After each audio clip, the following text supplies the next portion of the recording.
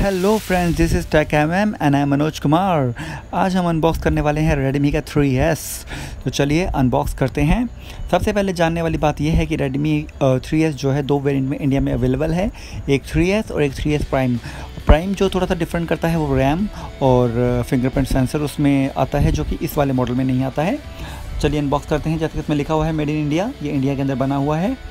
ये तीन कलर में अवेलेबल है। गोल्ड वाइट ब्लैक सात हज़ार रुपये इसका दाम है। और ये 4G फ़ोन है, आप इसमें 4G सिम कार्ड चला सकते हैं। तो हमारे पास जो फ़ोन है वो गोल्ड कलर का है।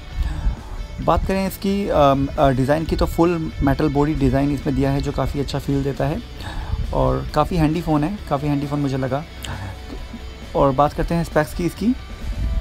तो I P S L E D panel इसमें दिया हुआ है, जो कि फाइव इंचज़ की डिस्प्ले के साथ आता है। एच डी डिस्प्ले है इसकी, जो 720p को सपोर्ट करती है। 294 का PPI है, जिसका मतलब कि जो स्क्रीन के जो पिक्सल हैं, डेंसिटी वो काफ़ी अच्छी है।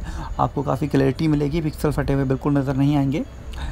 जो बात करते हैं कि फ़ोन के साथ क्या क्या आता है, एक चार्जर आपको नॉर्मल मिलता है, एक डाटा केबल और जैसे कि आपको पता है कि इन मॉडल जो ऑनलाइन फ़ोन में शोमी के फ़ोन में ज़्यादातर हैंड फ्री आपको नहीं मिलता है। बात करते हैं इसके कैमरा की तो तेरह मेगापिक्सल का कैमरा एलईडी फ्लैश के साथ आता है। पाँच मेगापिक्सल का सेल्फी कैम और सबसे बड़ी बात जो कि बैटरी लाइफ इसकी बहुत अच्छी है। इकतालीस सौ की बैटरी इसमें दी हुई है। डुअल सिम स्लॉट है, पर हाइब्रिड है। ध्यान रखिए, यहाँ ध्यान रखने वाली बात है हाइब्रिड सिम स्लॉट में आप यहाँ तो दो, अगर आप सिम कार्ड चलाते हैं तो मेमोरी कार्ड नहीं चला पाएँगे, या अगर मेमोरी कार्ड चलाते हैं तो एक सिम कार्ड आप यूज़ कर पाएँगे। सोलह जी बी इसकी इंटरनल है और one twenty eight G B तक ये जाता है। प्राइम में जो है तो थर्टी टू जी बी मिलती है आपको। और आयर ब्लास्टर है। आयर ब्लास्टर का मतलब ये आप अपने घर के टीवी या एसी को इससे कंट्रोल कर सकते हैं। रैम की बात करें तो टू जी की रैम इसमें दी हुई है और स्नैपड्रैगन का स्नैपड्रैगन 430 चिपसेट इसमें दिया गया है। 1.4 गीगाहर्ट का ओक्टा कोर प्रोसेसर है इसमें और 6.01 जो मार्शमेलो है, उसके साथ ये डिवाइस आता है। बात करें अभी तक मैंने जितना इसको यूज़ किया है मुझे थोड़ा सा ना जाने क्यों हल्का सा फ़ोन स्लो लगता है।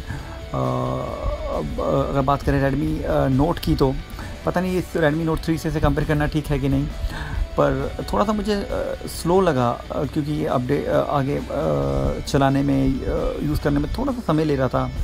और अभी जैसा कि आप देख पा रहे हैं थोड़ा सा जो बूट होने में जो बूट नहीं कह सकते इसको जो अपने लोडिंग है वो उसको थोड़ा सा ज़्यादा समय ये ले रहा है और थोड़ा सा लैग भी लगा और कई बार तो मैंने ये भी देखा कि जो फ़ोन था वो थोड़ा सा यूज़ करने के बाद बहुत हीटअप हो रहा था। तो आ, बाकी तो सब कुछ मुझे फ़ाइन लगा इसके अंदर बाकी फुल रिव्यू मैं इसका करके आपको बाकी इसके फीचर्स बता पाऊँगा। खैर ये थी हमारी अनबॉक्सिंग और जो ओवरऑल मैंने आपको इसके बारे में बताया।